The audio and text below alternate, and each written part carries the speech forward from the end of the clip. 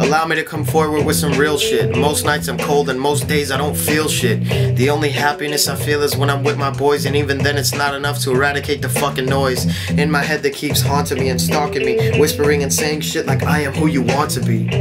That's why I do this fucking rap shit, cause if I didn't, I'm afraid I'd commit a major felony. This the kind of shit I think about sitting in chemistry, hysterectomies, vasectomies, cause eventually I'm afraid my mind will get the best of me, cause mentally, this the kind of shit that requires therapy. Shit. Heavy weaponry was the recipe, along with a dab of hate and a fuckload of energy. The pregnancy was not a pleasantry, in fact, you could say I'm an embassy for this entropy.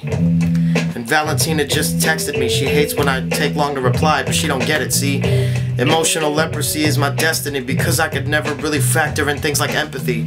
Nah, truth be told, I miss you terribly, but I'm the one that left you, so I guess this is my penalty.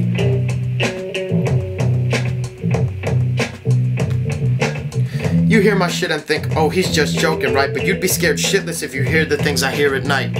My mood stays on Bunker Buster Mini Nuke, exploding on impact when I fucking stuff it in her cooch.